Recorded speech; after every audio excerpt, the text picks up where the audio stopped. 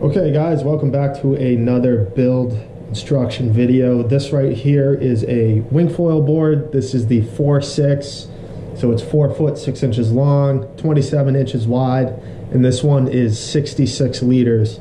There's a whole bunch of other sizes of this board. They're all kind of the same design, just scaled a bit differently. And the build process is the exact same for each, so it doesn't matter which one in particular you're building uh, we're going to follow the steps in this video, and in the end, we'll, we'll come out with a great board. The bat with a new concept compared to the other boards we have, the smaller foil boards. Uh, you can see this is in three separate pieces. And the main reason why is it makes it a lot easier and way cheaper to ship to you. So that's why it's in three different pieces and they get put together really easy. And once they're glued together, it's just a, one piece of foam again, and then we're going, going to get into the build process. So we can see here, I'm holding the front section of the board, and then this is the section that it fits to. And when these are final shaped in the shop, they, we put a small dab of hot glue in certain areas to join the pieces together and then we give the board its final shape so that when it fits together it's perfectly fitting and it's really nice and smooth. And the great thing about these is they almost act as like lego pieces. So this piece fits right into the foam holes right here. And you know exactly when you have it in the right place because it really fits right in there and then you will 100% know okay that's exactly where it's supposed to go. So that really helps you aid and line up these pieces when we glue them together. So if we're just going with the board blank it will come with the tracks and the track box as well as the slot nuts to go in there. So that's what it comes with standard. There are options to select the fiberglass and the epoxy and the whole build kit. So if you want everything you need to build this board to come with the board you can select that as well. So please make sure you know what you're selecting on the website. Okay, so taking a step back, you can see I have the board stacked on top of itself, standing almost vertically, and we're leaning up against the board stand in the back there. And so you can see I can just pop off the sections like that. And so we're going to start by gluing up the board and we're starting from the tail and working our way up to the top. So the first thing I'm going to do is mix up some thickened epoxy. I'm going to pour a line of it going in between the seam, stick these two pieces together. I'm going to tape them in place so they don't move. And then I'm going to do the top section right after that so we can cure the board together all in one step. So real quick before we get started here, we're taking a uh, zoomed in look at the edge of that board. I like to use a masking tape, works well to hold the pieces together. Also, duct tape can be used, but first try with masking tape, and if you need a little bit more, move up to duct tape. Uh, one important key thing when gluing this board together is we do not want a lot of epoxy. Actually, we don't want any, preferably, squeezing out of the joint because we're going to come in with a very, very final sand if there's anything that needs to be smoothed out before glassing. And we're also going to come in before glassing and fill that seam with more thickened epoxy and that will fill any gaps, any slight inconsistencies with the gaps and that will allow for very easy glassing when we're ready to do that. So in order to, to have that seam be as tight as possible, and in the end, when the board is painted, you'll have no idea there's even a seam there to begin with. So the idea is to get it as tight as possible. And the easiest way to do that is when we have thickened epoxy, we're just going to pour one line of it going in the center here of the board.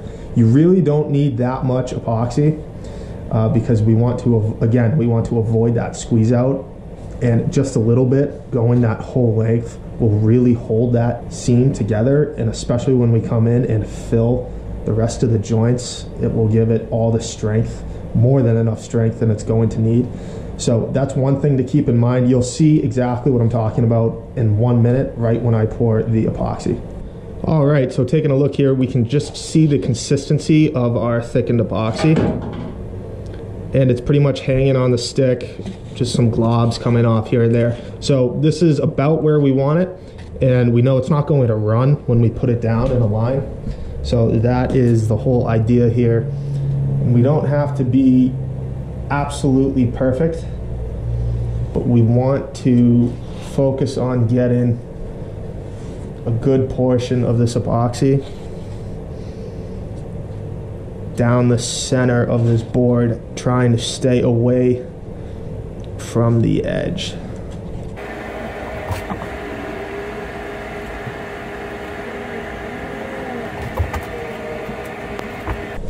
All right, so there we have it. And you can see, you might not be able to tell, but it's piled in pretty thick and pretty high because I do expect when I put the piece on and kind of compress them together just a bit, that will start to spread out and fill the seam a bit. So that's why I gave extra room going around the edges there. So moving to put this piece on, I'm pretty much just going to line up this edge right here. And if you just wiggle it around ever so slightly, you can feel those indents lining up exactly where they're supposed to be. And I'm just putting a little bit of pressure going downwards just to squeeze a little bit of that epoxy and spread it out just a bit. And now we can see, it's almost hard to tell where the joint even was. Of course, you can still see it just a little bit, but we can't feel it at all on the deck. Along the rails it's gone too. and if I feel around behind the board, it's also completely flush. So I now know it's exactly where it's supposed to be. And now I'm just going to reinforce this with a little bit of tape just to make sure it stays right where it is while it cures. So one quick little tip to help you do, uh, put in the tape and really close that seam up is I have this masking tape and I'm first going to stick it just to the top side here. Make sure it's really stuck on there. And then with this hand up here, I'm going to put some pressure downwards on this piece to really close up the seam. And then with this free hand, I'm just going to pull a little bit on this tape and stretch it nice and tight and then press it down into the board. And so that gives us that gives us a little bit of tension in this tape holding it together. And you'd be surprised how much you can actually pull things together. And if you find you need more, you can always add as much tape as you want. But usually just two on the front and two on the sides is plenty to get the job done. Okay, so now I'm going to be doing the top section of the board. And just as before, I'm just going to be placing thick line of epoxy going across the center here.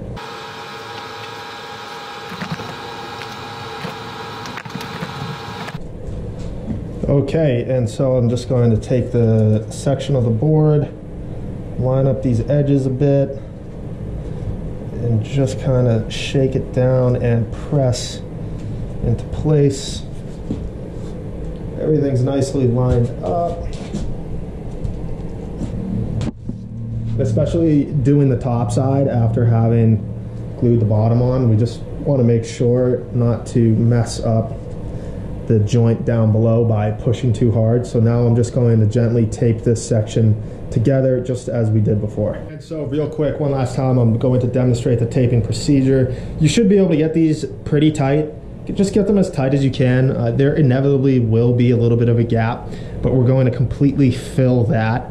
Once it is glued together, we're going to fill that again with even thicker epoxy and that will come out completely smooth and flush so we don't have any problems glassing. But again, the best way to do this is to just stick the top half on, make sure we have it nice and stuck. And now with this hand right here, I'm just gently pushing down, straight down the best I can. And now I'm going to pull this tight, not too tight, but just a little bit tight, and then press that down. And now the piece of tape is under a bit of tension, holding this and compressing this a little bit tighter together. All right, so now we have both seams glued and the board is taped. Now I have this standing pretty much vertically straight up and down. That's the best position to leave it in. Maybe leave it leaning up against a wall, but try to get it as straight up and down as you can. so that there's no forces bending anything apart. So that's it. And depending on your temperature, you probably want to leave this for about three to four hours and then the board will be safe to remove the tape and start handling it to move on to the next step. And so next what we're going to do is we're going to glue in the track box down below, which is very easy to do. And then at the same time, while we're at it, we'll make sure that the shape of the board is exactly how we want things to be.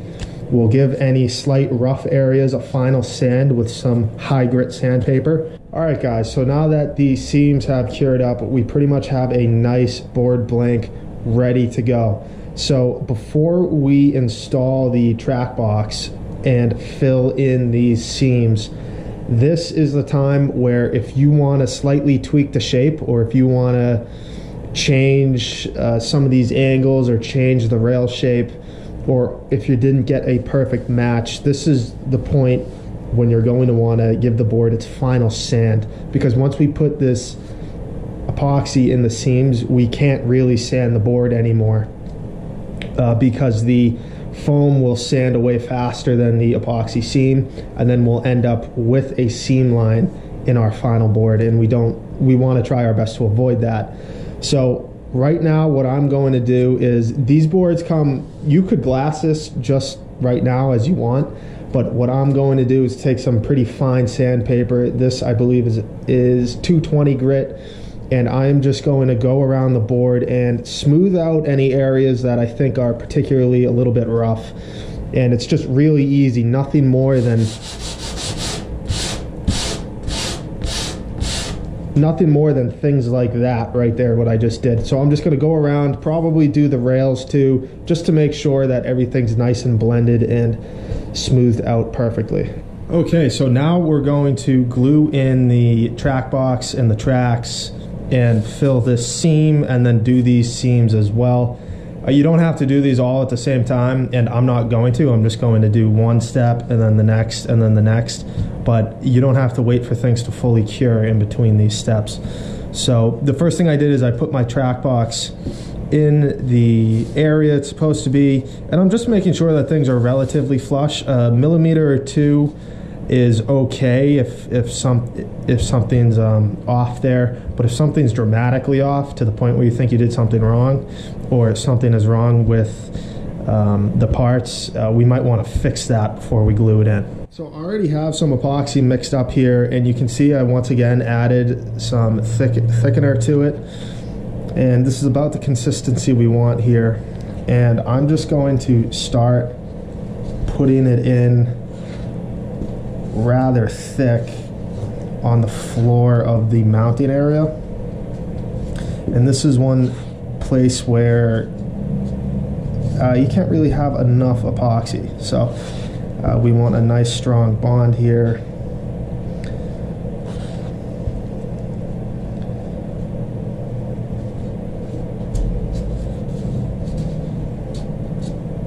And again, we're going to get some, when we press the track box down into this area. Uh, a, lot, a lot of this epoxy is going to move and squeeze about.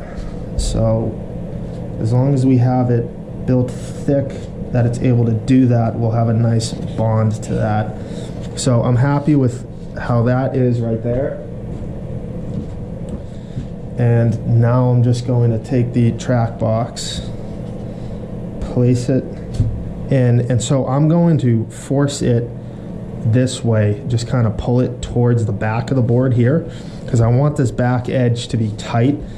And that mainly just lines the tracks and keeps them square with the board because there is a little bit of wiggle room in there. But as long as you pay a little bit of attention you can get them pretty square and so I'm just pressing down a little bit. I'm not pressing down really hard because uh, that might damage our board, but I'm just pressing down a bit to ensure that everything's sticking really well. All right, and the next step is just to add some epoxy into the actual track area itself.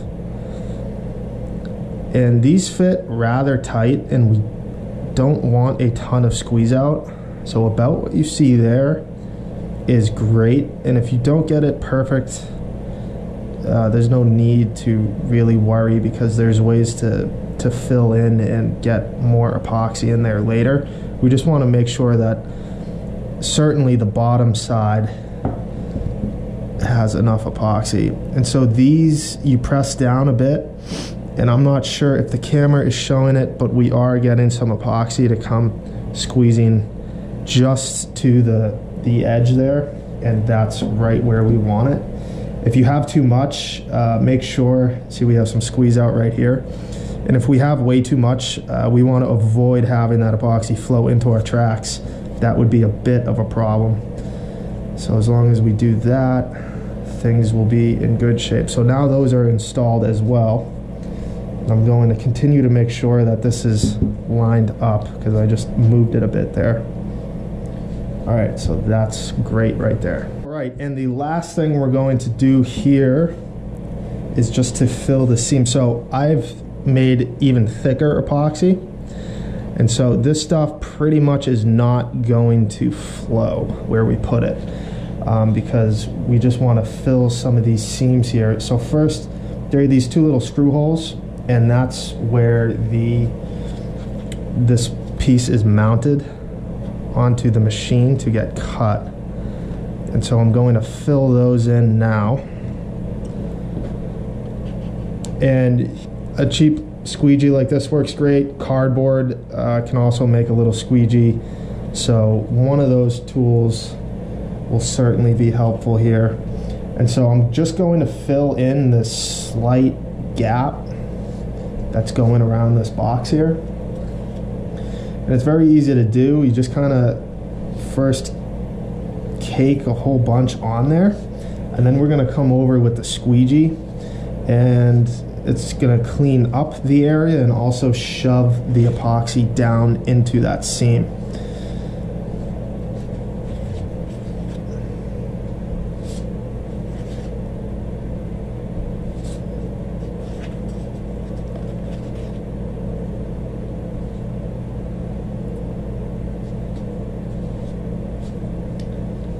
So now with our squeegee, hopefully we can see this here. I can come in any areas that there's epoxy that didn't get in, I'm going to use the squeegee to pretty much shove epoxy down in. And you can see how much we scraped off there. That's perfect because now this is nice and flush. And that's exactly how we want it and filled in. So I'm gonna do that and go all the way around. Okay, so just as we filled the seam on the track area, I'm going to fill these seams that join the board. So again, this epoxy is pretty thick. It's not really going to run anywhere. And as the track box is curing, I'm just going to do the bottom side of the board here because I obviously can't flip the board yet. And once the once the track box area cures up, I'll flip the board and do the seams on the other side. So really the key here is just to kind of do the same thing as the track box with the squeegee, uh, rather light pressure and just follow that seam packing epoxy in there and then also squeezing away the excess. And so you can see right there, you can see a little bit of sheen where the epoxy is now wet with the foam, but you can also see that the seam is now totally filled in and it's really, really smooth and there's no excess epoxy kind of hanging out there. And so that is going to make, once we glass over that, that whole seam will completely disappear. So I'm going to do this for this whole seam here and then that second seam up forward.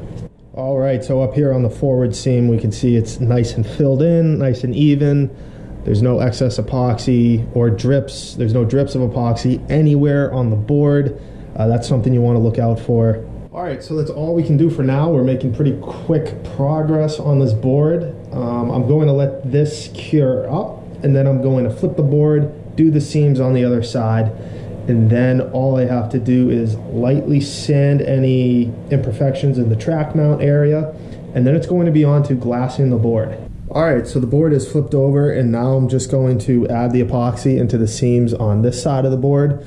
Uh, it's the exact same way that we did the bottom. I'm just going to do that to the top side now. All right, so now all the seams are fully cured and I just took some very, very light sandpaper and just went over them to knock down any little high spots. Sometimes the foam dust kind of hardens and you can feel that. And so if you just very lightly skim that with sandpaper, it really smooths it out. So those are all set and ready to go.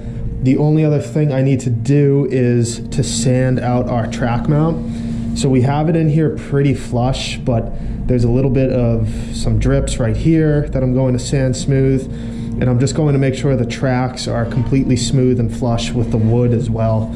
And if there are any edges, like right here feels just a little bit higher than the foam, I'm going to be very careful with um, some sanding and make sure I'm just sanding the wooden portion and not down into the foam. So that's what I'm gonna do right now is I'm gonna completely smooth this out the best I can. Okay, so it's now nice and completely smooth and I got rid of all the dust that was on this area after, after sanding. And so now what I'm going to do is just take some masking tape and mask off the tracks.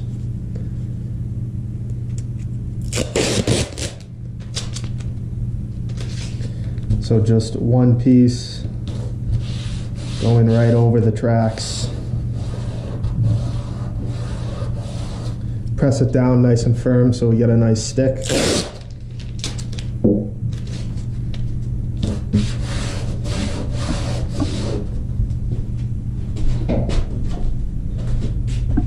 And so now I'm taking a blade, any sharp blade will work, and I'm just going to trim away the excess tape. So through the tape, you can kind of see where the actual groove is. And so I'm probably going to aim to go about three millimeters, uh, have about three millimeters of tape stuck to the actual track, and I'll remove the rest of that. So you can always come back and clean this up if your lines aren't perfectly straight. So you can see this is kind of what we're going for here. And we're going to do that same thing on the other side. All right, so we're taped off. Everything looks great. And the next thing we're going to do is start to cut the glass to go onto the board. Okay, so now we are going to get into the lamination process with the fiberglass and we're going to start doing by doing the bottom. And as we already showed, we covered up our tracks with some tape. And now what I'm going to do is flip the board over and apply a tape uh, which is going to separate the two halves of the board as we laminate. All right, so we have the board uh, right side up. So we flipped it over and I'm going to apply the tape going around this top edge here. And so basically we're going to wrap the rails twice. So the rails are going to be twice as thick as say the deck and the bottom side of the board. And that rounded shape being so thick is in like a box structure is going to act as a major strength or source of strength for the board going from nose to tail. So double wrapping all the rails around the board uh, gives it strength and also these are where impacts are most likely to occur. And so if it's twice as thick, uh, it'll be twice as strong and ding resistant there. So nothing too nothing too fancy here, just uh, masking tape or painter's tape, and I'm going to try to keep it generally pretty even going around the entire board. And I want to be more pretty much just on the top edge here of this board.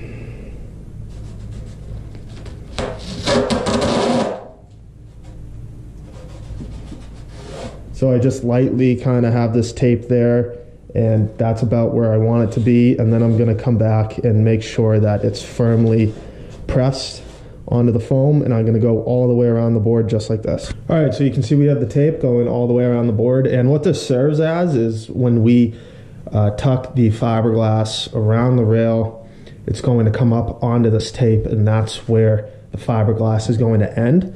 And so when the board gets to the right stage where it's where that fiberglass is about 60% to fully cured, we're going to come in with a very sharp razor blade and cut right on this tape line.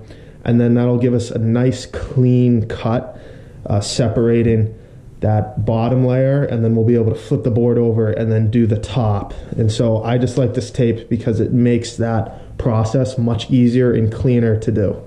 So just like other boards that uh, we build here, uh, each board is going to come with its own kind of detailed instruction sheet as to how many layers we're putting and where. Uh, for the boards, it's very simple. With the foils, it gets a little more complicated, but the boards, generally, it's uh, three top, three bottom, and this is four ounce glass. Uh, that usually makes things really strong and durable. So that's what we're doing. And uh, for the foil boards, just around the track area, I like to put a patch right here so you can kind of see we're maybe going three inches or so, or maybe 10 centimeters, kind of just larger than the track. And that's just going to reinforce this general area. Um, so that's what we want our patch to, to look like. All right, so now you can see I cut a large piece of cloth and I have it just draped over the board here. And so we have a lot of excess going around the entire board. And as we mentioned earlier, we have that tape line on the underside of the board. And so we want to trim this piece of this fiberglass so that the edge ends up right on the tape line. So we're going to do that one layer at a time. I find it easiest to just trim a layer and then kind of roll it up, put it to the side, do the next layer. Uh, I find that to be the easiest way to do it. So we're going to trim all the way around so that we end up right on that tape. So taking a look here, we have trimmed this side of the board. And so if I am to wrap and tuck this under the rail, we can see there's not that much extra and it ends up being right on that tape line going along the underside of the board. So that's about where you want it. It's probably better to aim on the shorter side than the longer side because we are going to wrap this area twice. So if you are shorter, it's better to go, land short of the tape than shoot over the tape. Um, but either or, it's not the end of the world, but uh, that's what we're looking for. All right, so we're trimmed up here, and you can see I have not cut relief cuts into the corners. If you've seen some other builds on this channels uh, on this channel, you'll know I usually cut the relief cut before glassing. And because this is a bit of a larger board, I think it might be difficult to line, get the relief cuts to line up perfectly on the corner as say you're putting on a layer on top of a already wet layer. It might be difficult to do that. So I'm actually going to wet out all these layers first and then cut in the relief cuts. There's really no problem with doing that. It's just after doing so, you're going to want to wipe your scissors off really well so the epoxy doesn't dry on them and make them useless. So don't worry about the relief cuts for now. We're going to do that during the layup process. So as mentioned, that's one layer down and I'm just going to gently and neatly roll these going backwards. And then that way I'll easily be able to put them back on and do one layer at a time. All right, so we have all the layers trimmed out. And one thing I'm also going to do is I like to add on the corners when we put in those relief cuts, Sometimes it can be difficult to get them to lay down perfectly flat. And so I've found adding just an extra little patch onto those corners makes them easier to lay down and clean up later on. And it also adds a little bit of extra glass to the corners. So again, that's an area that'll most likely get bumped. So I basically will just cut a few of these, at least one for each corner. And I'm going to start with, I'm going to make these probably larger than I need them to be. And it's just good to have these cut and ready to go so that you can kind of do it all in one step later on. So I'm just going to cut some of those and put those off to the side. All right, so we're ready to start here. And you can see I have the first layer, I folded it up so that we can get our track patch on. So I'm also going to take the patch and just kind of put that up as well because the first thing we're going to do is get some epoxy in this area and fill in any of the nooks and crannies that didn't uh, so for example we didn't really get a lot of squeeze out here when we installed the tracks and so I'm going to first fill that in with epoxy to eliminate any bubbles that might show up. Right, so as mentioned, we're just going to get some epoxy worked into this area first. Just kind of lay it on nice and heavy and just work it around with a squeegee into those areas that didn't get full.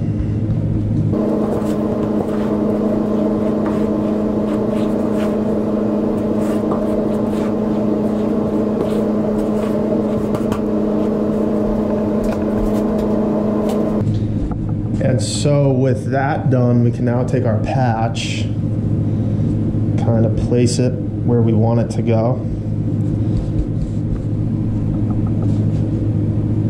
And now work this in. That is now handled. It's not fully soaked out, but that is fine. I'm going to get the first layer of glass positioned get rid of all the wrinkles that I can.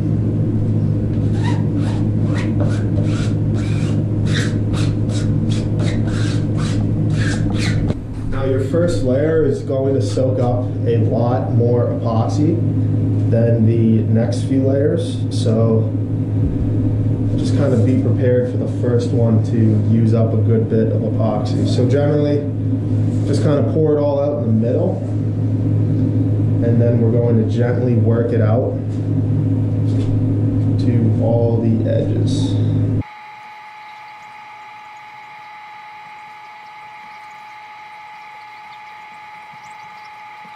So now I'm just going to start taking any of the excess from that flat area and start working it down towards the sides of the boards, the side of the board. Um, and then basically we're going to wet out, first focus on wetting out all of the fiberglass that is in contact with the board. And then we're going to soak out the excess glass that we're going to wrap alongside the rails. So you can see here, we just take a little bit of excess from the flat area and then we're going to push it down along the side of the board. And then at the very end, we're going to soak this stuff out. So that's kind of the list of priorities here.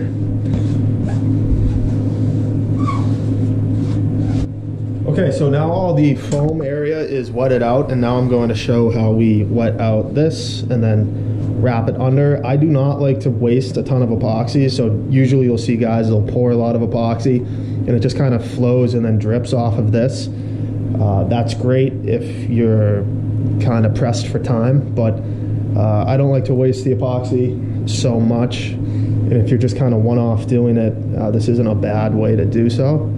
So generally what I like to do is just pour some epoxy like that and then lift, gently lift up the edge and just kind of squeegee it out onto the overhanging glass. So you can see here it's getting soaked out. And I'll just go like this all the way around the board. And once I get these fully soaked out, we're going to tuck it underneath the board. All right, so we're fully soaked out going all the way around. And so starting from the sides, more towards the center of the board, I'm just going to take the squeegee and wrap the fiberglass up onto that tape that we placed. And so from the center, working back, I'm going to do that all the way to the corner.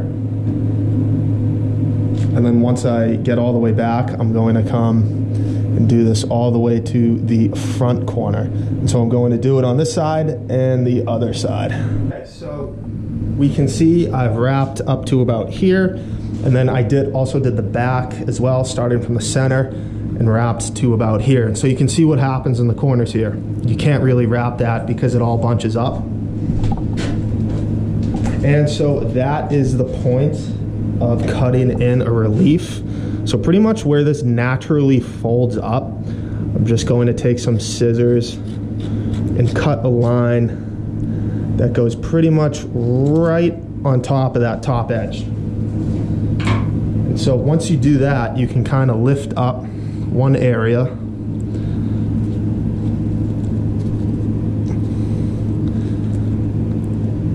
And get it to lay down flat. And then you come with the other side. And then you'll be able to get that to tuck down. So this is definitely the hardest part uh, especially if you haven't really done it a lot. And so right here, it's it looks fantastic. And right up in here is where I'm going to apply that patch, but I'm going to do that at the very end to help smooth things out. So this is layer number one. Uh, we're going to do this on the corners here, and then I'm going to add on, once we get the first layer down, that's the hardest one, I'm going to add on the next two and do the next two together. So with that first layer done and the corners tucked, uh, the next two are going to go on very easy. So I'm just going to line this up, starting from the back, and then roll it forward onto the board. And before I start wetting any of this out, I'm just going to position it so that everything lines up where we initially cut. We'll get it pretty close and get as many of the wrinkles out as we can. And so you can see if you just very, very gently pull on areas, you can pull out any of the wrinkles. Okay, and with that done, uh, that's the second layer. And now going to put on the last one. And this one you don't have to be as precise with initially because uh, it's not really gonna get stuck right onto the bottom. So now that I have them positioned pretty much where they're supposed to be, gently with the squeegee, I am just going to, again, work to get most of these wrinkles out very gently. And once I have it positioned and most of the wrinkles are gone, I'm going to get more epoxy and then glass up these two layers at the same time, just as we did the first layer. I'm going to wet out the uh, flat surfaces first, and then I'm going to come around, wet out the edges, and then tuck them, and then do the corners. All right, so you can see I got most of the flat areas done, and now I'm just kind of treating that these areas on the side of the board pretty much as their own little section. So I'm dragging any excess epoxy from on top down onto the side, and then I'm just working it in along this entire length. So basically, just taking epoxy from the center and moving it towards the edges of the board.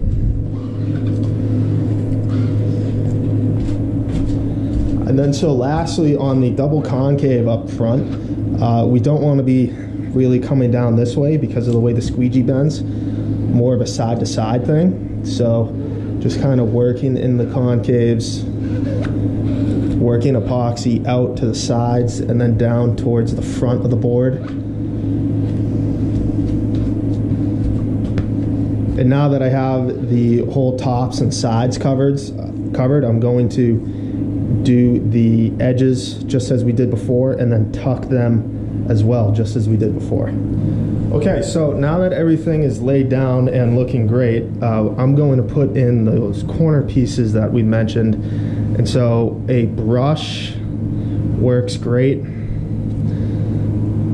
And I'm just going to really get this area. And you can see that you add that corner patch and if there were any slight imperfections, in that seam there, it really just kind of folds them out and gets rid of them. And a brush is great to uh, get rid of any excess anything. So if there's any drips along your rail, a brush is great to clean those up. And then also if there's any areas that aren't tucking so perfectly, again, a brush, you can put a little bit of epoxy on it and just use the brush to pretty much just clean up your work with the squeegee. I found it, it's been, it's a huge help um, to use that brush to clean things up. Glass is laid down, everything's looking great. Everything is nice and evenly soaked out. And so At this stage, what I like to do, again with a brush, is just pretty much the final check. I'm going to look over every inch of this board, and if I see any air pockets or if there's any slight air bubbles that I missed or I didn't quite wet out enough, I'm going to come in with a brush and just kind of lightly dab the area, and usually that takes care of most of it. Any of these strings, you can see I have some hanging down here. Uh, I'm going to try to get most of those off the board but if they're up and past that tape line, I'm not going to worry about them too much because those are going to get trimmed off anyways. And I'm also just going to go around, get down low and look underneath the board and make sure that the glass is wrapped nice onto that tape and being gentle with a brush uh, can help get it back on if there's an area that's giving you a little bit of trouble. And any drips that I see, I'm just going to gently, with a brush, very gently pull the drips out so I don't have to sand them later. All right, so now what we're going to do is let the board start to cure up and depending on the temperatures, if you're at 77 degrees in about three hours, it's going to be um, almost it really doesn't cure for a full 24 hours, but you won't be able to tell much difference between three hours and then 24. So just consider at three hours, it's, it's almost fully cured. So I'm going to want to wait about two hours is the epoxy will be uh, very tacky, uh, but not fully cured. So I'll still be able to cut it extremely easy with a sharp blade. And so that's pretty much what I'm waiting for. To be safe, just check on it every 20 minutes or so.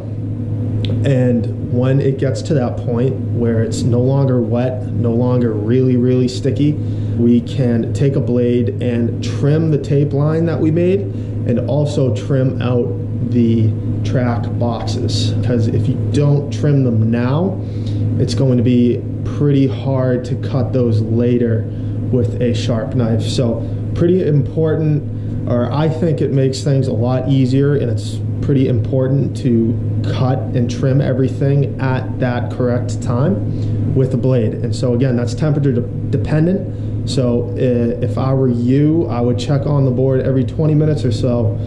And once it gets to that consistency, we're going to give it the trim that it needs. Okay, so it's now been a couple hours and you can see that this isn't really sticky anymore.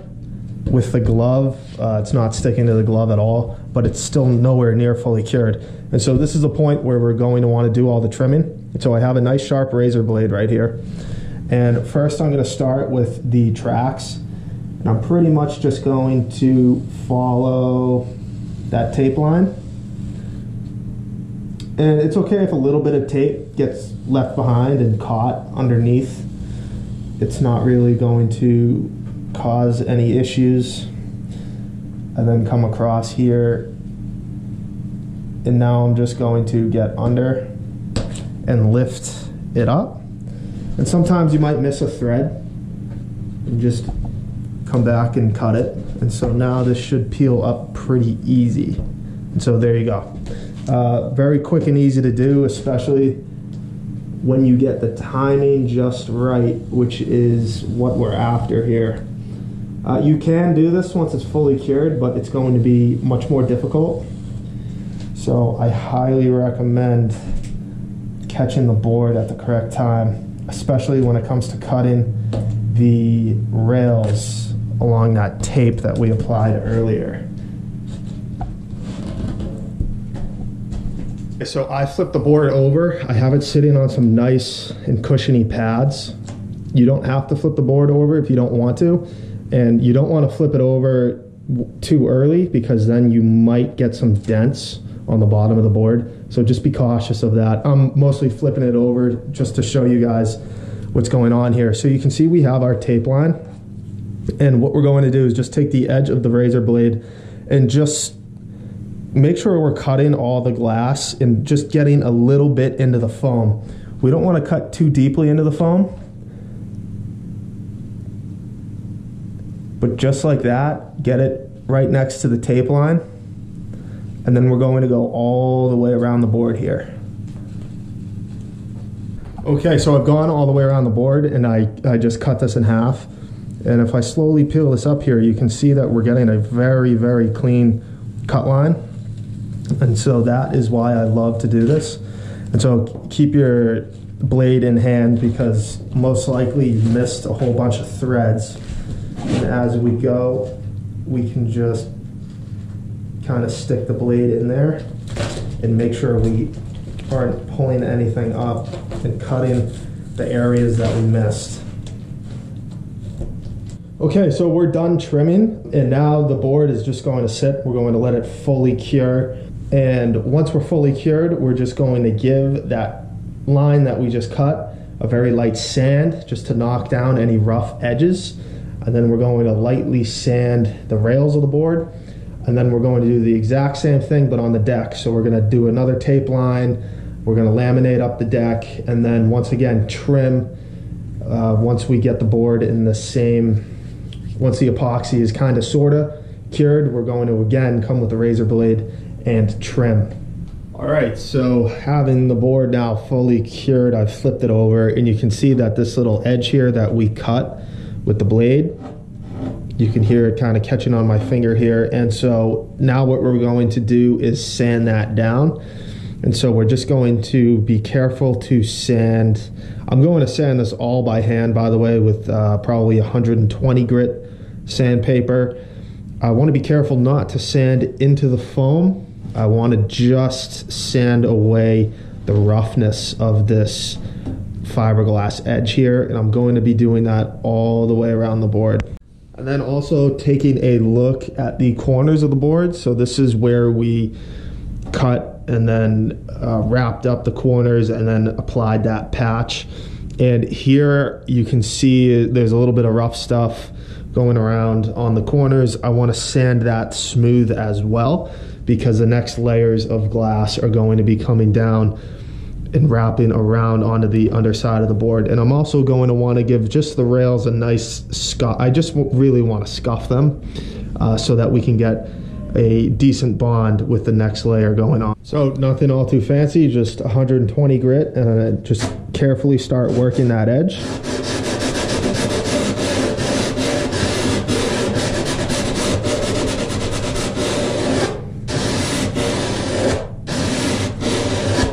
Being careful not to dig in the foam and I can already feel that it's it's softening quite a bit already.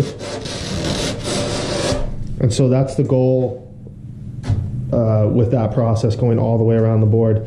And then we're going to want to give just the rails a nice sand as well. So all of this area right here and, and that's pretty simple. Just pretty much just take your paper get it on there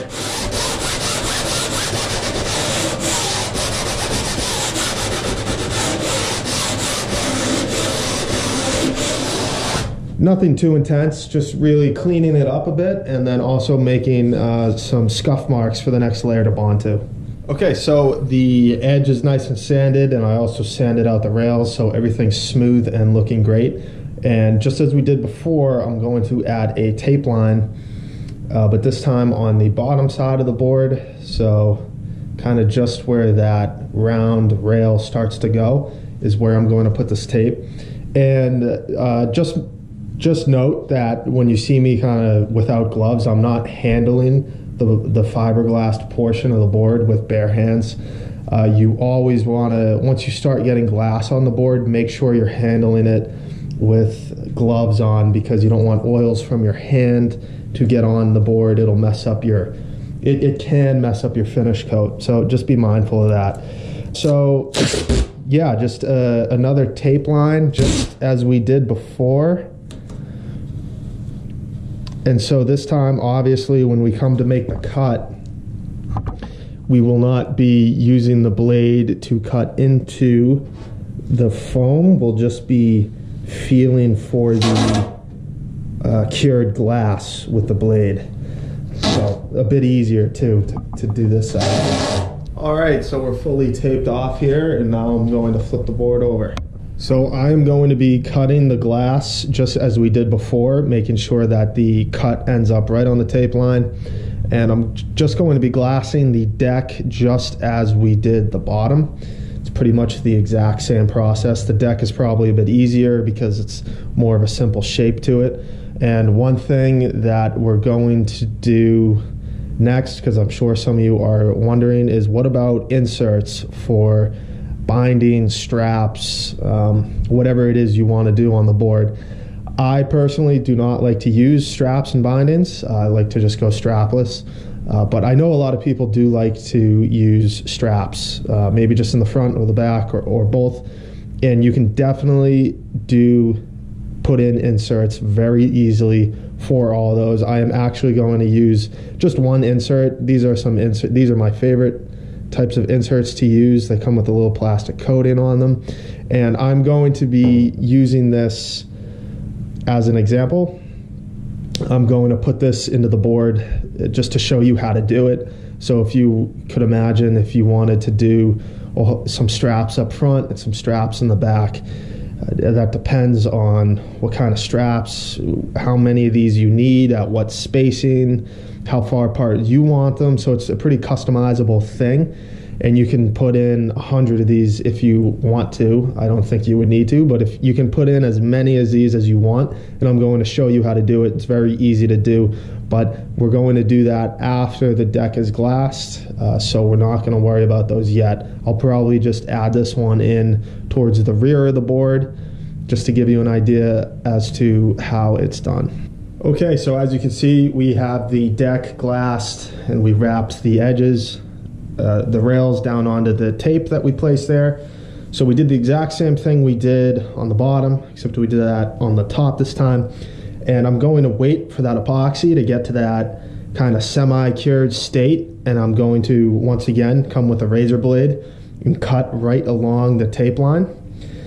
And then I'm just going to let it fully cure and we should be good to go. And so, if you are planning to do inserts after the deck is fully cured, is when we're going to th- start installing those. And I'll show you guys how to do that. I'll just put one insert in this board as an example.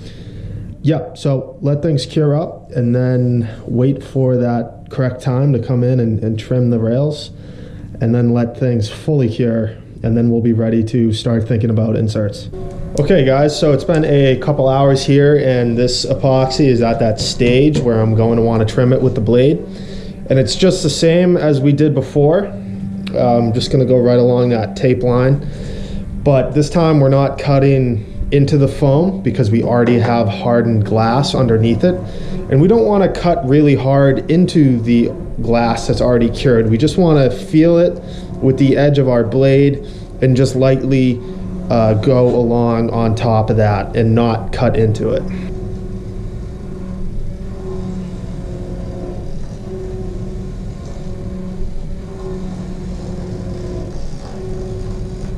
So with that now cut, very satisfying to cleanly remove it from the board.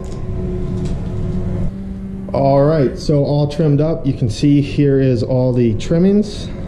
Just gonna toss this away. And now I'm just gonna let the board fully cure and then we're going to address putting in inserts, uh, possible board leash plugs. They all follow the same process. So for that example, we're going to use the insert that I showed previously, and that is going to be what we do next. Okay, so now is the time where if you're adding inserts to the board, we're going to start to do that process right now. I apologize if you can hear the machine cutting in the background. It's actually the machine that cuts these boards, and so we're cutting a lot of them right now. Um, so I apologize for the noise. So if we're adding inserts, these are stainless M6 inserts. They're absolutely fantastic. You can see there is a protective film over the over the threads there. And so we're going to leave that intact and that will keep epoxy from getting into our thread. And so basically if you know what kind of foot straps you're using obviously you're going to want the spacing of that foot strap from hole to hole. And you're going to want to know where you want those on the board approximately because most boards as you know they usually have multiple places to put the foot pad so you can move it around a bit and so you would need multiple inserts in each location and that's easy to do. So these are available on the site. You can get as many as you want and they're really great really useful. So the basically what we're going to do is route a hole just big enough for the insert to fit into and a couple millimeters deeper than we need for the insert. And then we're going to fill that hole with epoxy let that cure up sand it flush and then add a little bit patch of fiberglass over the top of that. Blend it all in so you can can't even tell that we did it. And then once you fully gloss your board and it's finished you'll still be able to see the inserts and you can drill out the glass on top of the insert and drill out that protective covering and then you have all your inserts. So it's very easy to do. It just takes a couple of little tips to get it done nicely. So real realistically the only way to do this properly is to have a router uh, any kind of router really but you definitely need a router in order to get these inserts in there correctly and so you can see the ideal depth for these is to have that hole be two or three millimeters deeper than it than the insert. So I'm just kind of lining it up here. That looks like a good depth to me. And you can always start shallow put in your insert, see if you need to go a little bit deeper, and then move a little bit deeper if you have to. So this is the depth that I'm going to want there. You can just kind of see the bit is a bit uh, deeper than the insert itself. And before we get started, this process applies to leash plugs, vent plugs, honestly anything you're going to be putting into the board, it's going to follow the same process. So if you're putting in a board leash plug, imagine this being the board leash plug and so on. So, you know, it's almost the exact same thing, but uh, this is particularly for inserts. So the first thing I'm going to do is just hold it down and then mark out where I need to route. So I have a rough idea of a circle about right there. All right, so now I'm ready to go, and so I'm going to plunge right in the center, get it down to depth, and then slowly work its way towards the edges.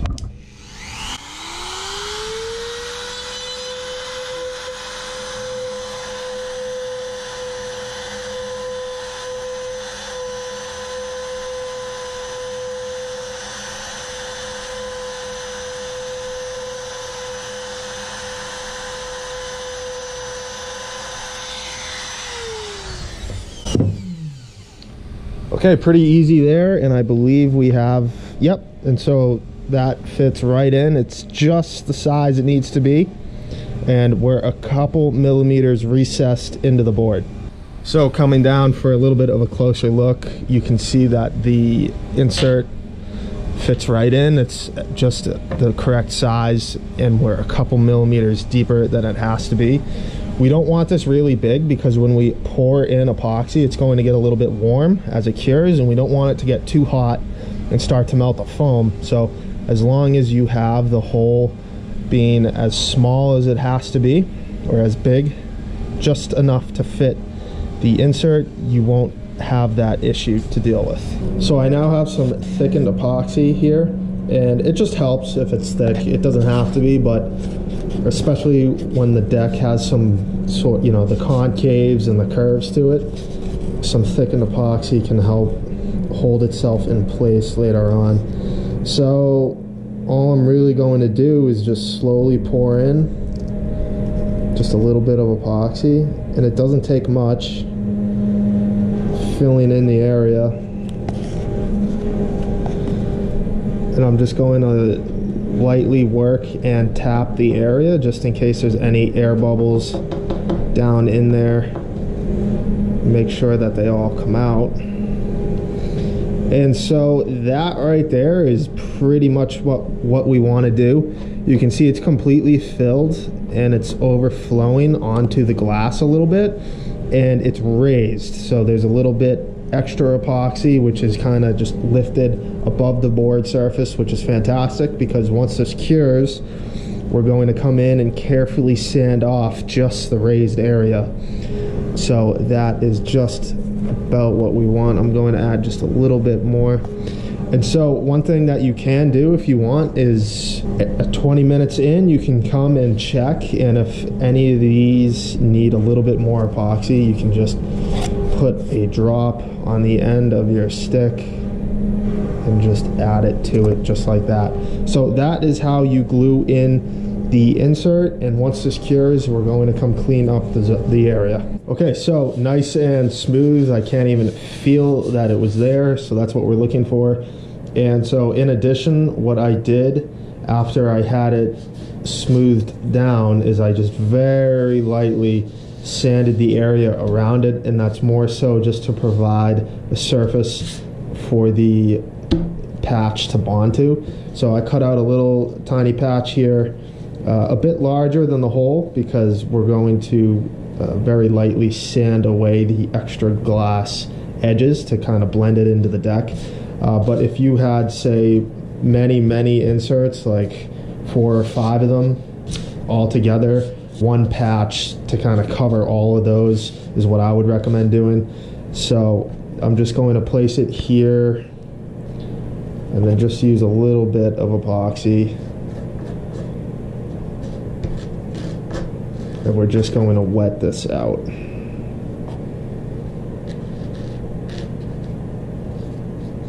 All right so that's about it. That'll do it for the patch. And so once this cures up we're going to come over this area and just sand it completely smooth okay so the patch over the insert is now fully cured and what we want to do now is completely sand the board smooth because we're going to be applying a gloss coat of epoxy next.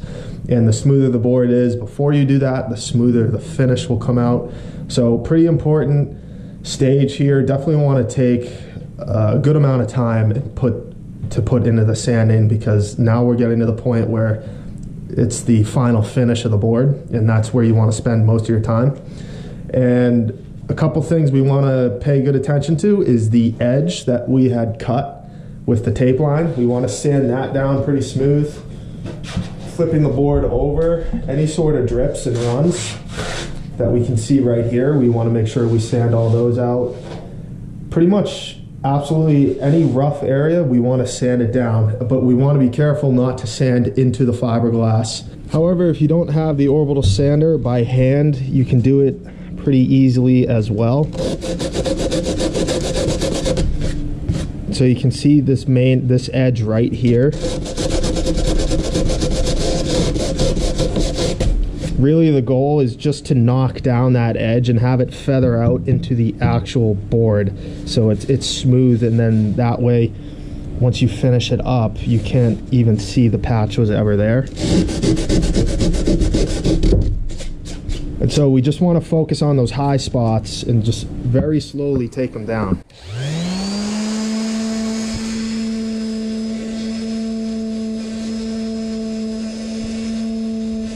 All right, so just about a minute later, you can see that you pretty much can't see the patch anymore because we've completely blended it in with the board. So as far as inserts go, that's how you install them into the deck. And the last thing we're going to do is obviously drill out uh, so we can get a, later on, get a screw into the insert. And we're going to do that at the very end, right before we paint after the gloss coat because we don't want to do it now because then the gloss coat will get into the insert, obviously. So that is the easiest way to put in insert. And so across, for example, the deck, if you're going by hand, just a little bit of light passes going across the entire deck. A, to scuff it up so we have something to bond to, and B, to take away any of the rough areas.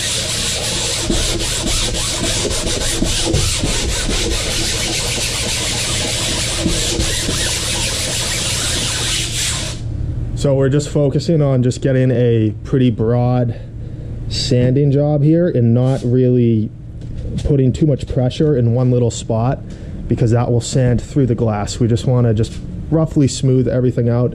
It's very simple. It's not rocket science sanding. It just takes a little bit of time.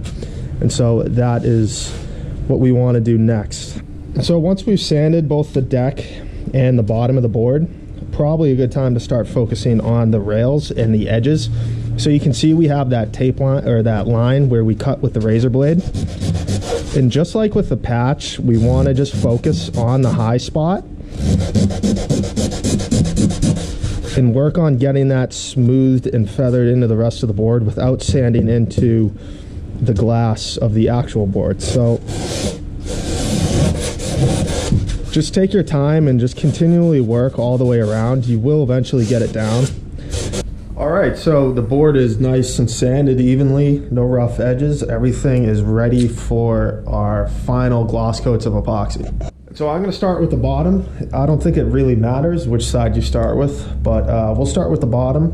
And we need to cover up the tracks just like we did when we glassed the board. We don't want epoxy getting down into them. So again, masking tape. We're just gonna place that there. Make sure it is stuck down really nicely to our edges. So again, uh, we really don't want epoxy getting down in there. So I am going to carefully make sure that this tape is nicely sealed. Okay, and again, once we have these taped off, we're going to do a tape line going around the board, just like we did when we were glassing it. And the reason for that is we don't want drips of epoxy to come and go down and then they'll cure on the bottom side of the board as a whole bunch of drips and it is a complete disaster having to sand all those off so if you put on a tape line and as the, again we're going to wait for that epoxy to get to that semi-cured state and then you'll just remove the tape and you'll have a very crisp clean line going all the way around the board with no drips and then that will pretty much allow you to flip the board right over and then do the other side in the same manner. So it makes things a lot easier. So definitely be putting a tape line around the board. All right, so we're taped off here and the board is smooth. I've made sure that there's no dust on the board. I've brushed it off with a clean brush. I've also used an air gun to spray off anything that might miss. Uh, just do your best to get this as dust free as possible because that'll just make for a better finish. So after spending a little bit of time doing that, we are ready to put on our gloss coat of epoxy. Okay, so applying the coat is pretty easy and straightforward. And we're going to start with just a good amount right down the center. So what I like to do is first just kind of get the track area done and out of the way with because I don't want to accidentally have the brush affect the tape in any way. So once I get that done, really the initial goal is just to somewhat spread this out. Again, working from the center towards the sides. And I didn't pour everything out. I still have a good amount left in the cup.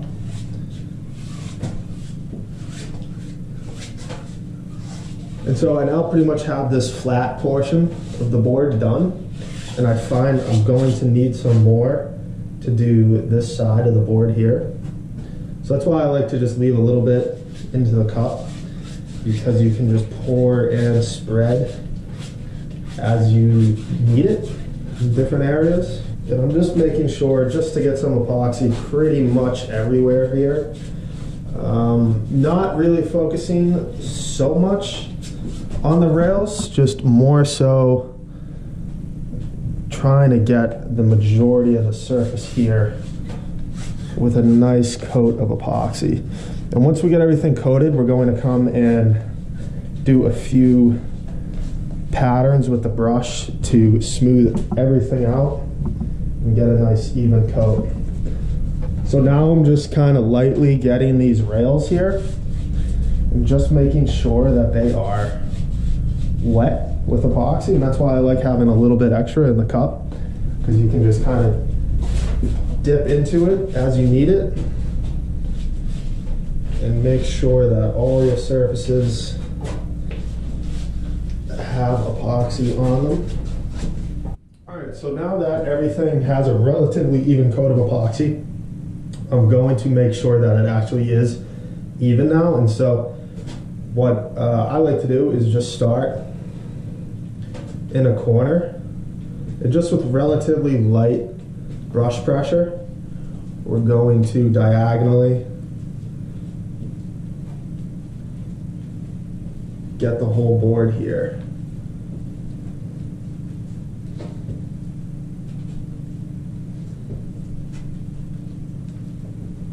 And so once we have the board, I'm going to again start from the back and go the other way diagonally.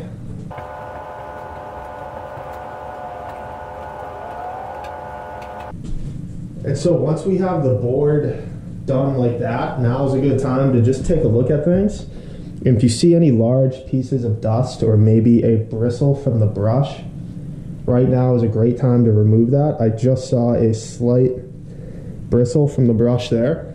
And so I just picked that out and everything else looks pretty good. And so now what I want to do is just go around the rails again because those diagonals tend to push some excess epoxy down and around the rails and we want to clean that up and even that out a good bit. And so now with the rails brushed over again, I'm going from the very back of the board you just come down the center all the way to the front and then back down again. And we're going to cover the whole board like this and that's pretty much going to do it far as brushing. So with the straight strokes done, now I'm just going to come and do one final pass along the rails. Again, just cleaning up any excess drips that might have emerged. And once we get that, I am now done and I'm just looking for any imperfections that might need any fixes and it looks pretty good. So what I would recommend is coming back in about 15 minutes or so, and you might need to give those rails another pass because some drips might accumulate, and it, it certainly helps to smooth those out before it cures up. And so once this epoxy, in about a couple hours, once it gets to that, it's not fully cured, but it's not sticky stage, uh, I'm going to pull the tape line, and that'll just make removing the tape a lot easier than once it's fully cured. So that's pretty much it. Just leave this board alone in an undisturbed area so like no dust comes and lands on it. And that is how we apply the coats. Okay, so taking a zoomed in look here, you can see the tape pretty much did its job. Is uh, It just deflected all the drips onto the tape. And so instead of having those end up on our board, we just start to peel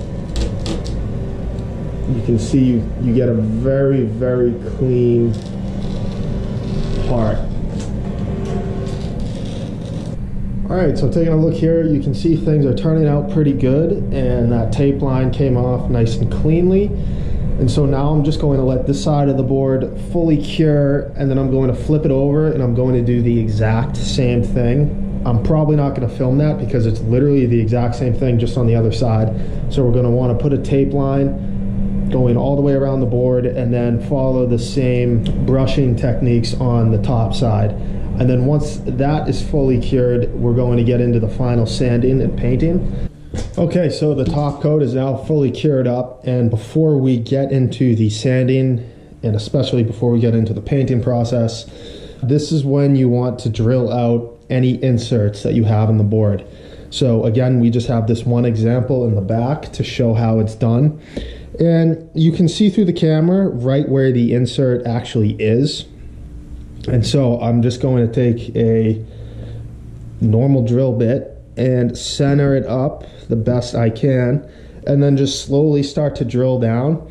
And you'll hear and feel when you hit the top of the insert and that's fine. And even if you do drill out just a little bit of the very top of the insert so a little bit of metal shavings come out that's fine. You definitely don't want to drill all the way down into it or halfway into it but do expect to drill possibly a little bit into it and uh, don't panic about that so we're just going to drill down and then through that protective cap that we saw earlier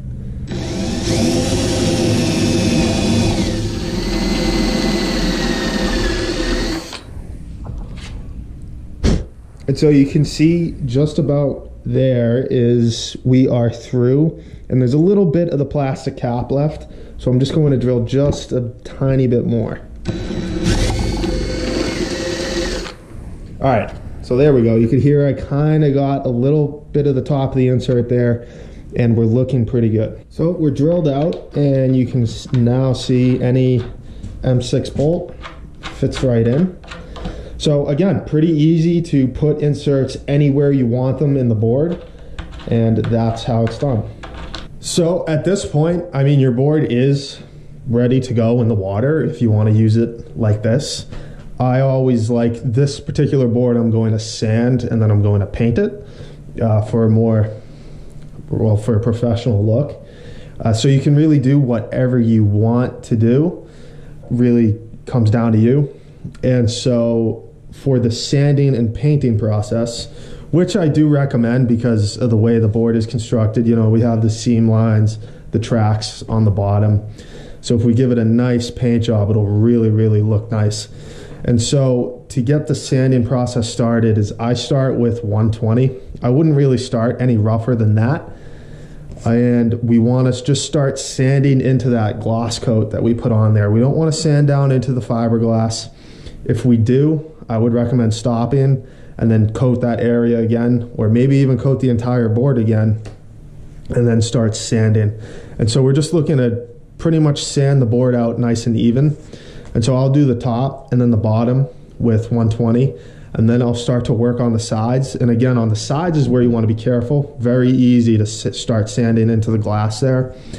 And so usually the sides, I'll just grab the paper like this and just sand it by hand. We saw a little bit of that earlier, but that's how I recommend doing the sides to avoid burning into the fiberglass. And so after 120, we get the whole board smoothed out. I'm then going to just up it to 220 grit. And if optional, if you want, you can go up to 320, but I've found that 220 leaves a nice sanded finish to the board and you can leave the board with just a sanded finish and use it like that or what I'm going to do in this case is once we get up to 220 and we're happy with how the board looks, I'm going to go with paint. I'm just going to go with a nice white, bright paint, and it should have this board looking phenomenal. Okay, so I've just been working on this bottom portion of the board for a good bit with the 120.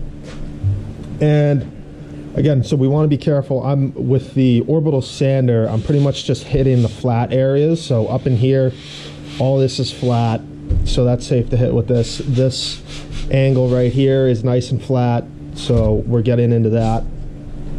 And then I'm now getting into the point where I want to start focusing in on the angles and curves. So this area right here, I would stay away from this with any sort of power sander could be you could easily go sand right through it if you're not paying attention. So by hand is definitely the best way to go.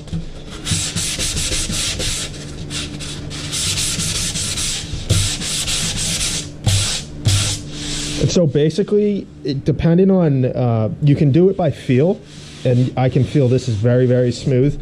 And also, if you set up a couple of lights in the correct positions, you can with your eyes see the reflections and you'll be able to see a low spot that hasn't been sanded yet. And if you see any of those, just keep working the area until it's nice and smooth and you don't see the low spot anymore.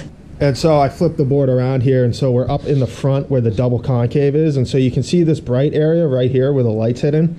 And so you can just see in the light that it's not quite smooth and it hasn't even been sanded yet. And so with just a little bit of effort, you can see we've now pretty much taken that down and it's nice and smooth. So that's pretty much what I recommend doing, especially on these curved areas, is just go in by hand. Uh, you can make pretty pretty easy work of it. And by you going slow by hand is you avoid the potential problem of having to sand through into the fiberglass because we really want to try to avoid that.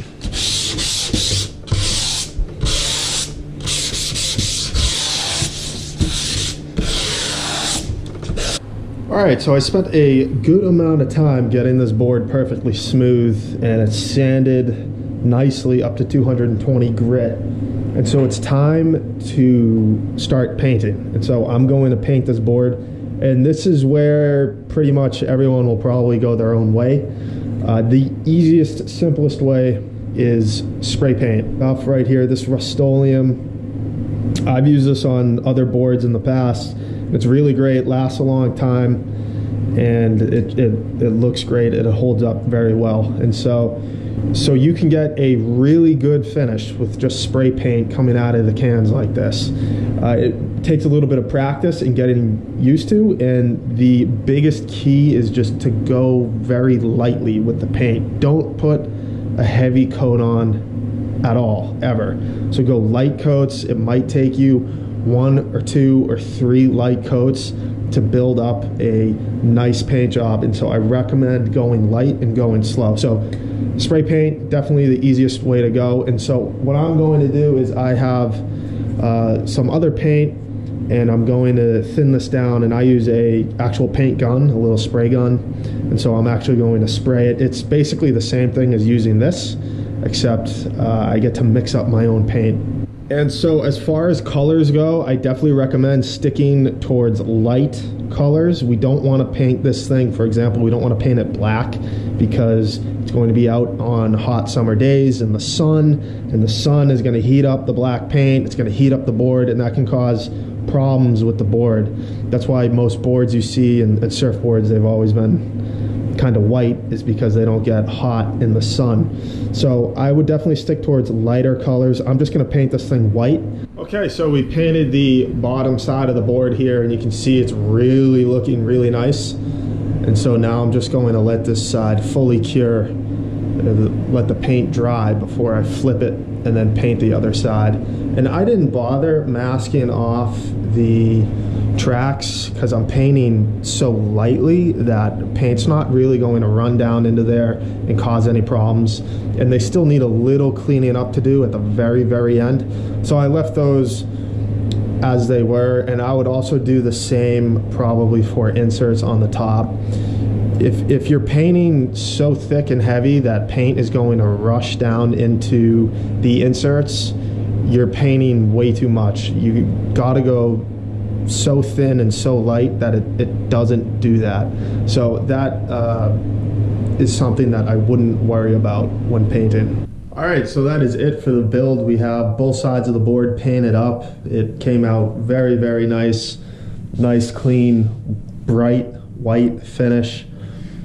And that's pretty much it. So again, with the painting, you can pretty much do whatever you want. If you want different colors, different designs, you can you can go crazy with the painting and you don't have to use the paints I used or paint it the method I painted it in. You can really do whatever you want. I just kind of do the easiest method here for most people to, to do themselves. So that is it for this build. Hopefully you enjoyed the video and hopefully you might have learned a thing or two here. And it's pretty easy to build these boards. They're very big, but uh, with this method, I think it's a, it turns out great in the end. And again, this was the four foot six version. There should be a five foot, a five six, and then a six as well. The sizes may vary, but there are other sizes. And all the weights and measurements and volumes and all that good stuff will be, all that information will be with the board on the website.